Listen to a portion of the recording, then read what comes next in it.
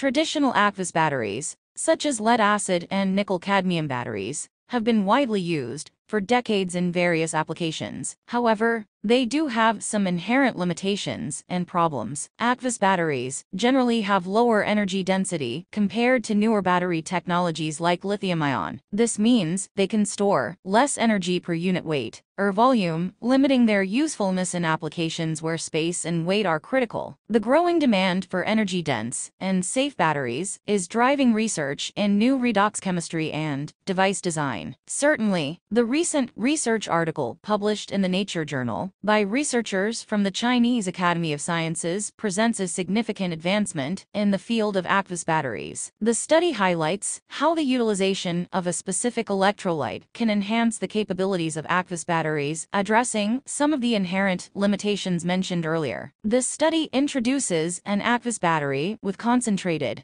heterohalogen electrolytes, enabling a multi-electron transfer process. Intermediate species, generated during the process, enhance reaction kinetics, bridging the gap between oxidation and reduction. The battery demonstrates an impressive energy density of over 1,200 watt-hours. Even at high current density, 120 milliamperes per square centimeter, it maintains an energy efficiency of 72%. This research proves the feasibility of safe, aqueous batteries with high energy density, offering potential, off-grid scale energy storage, and electric vehicles.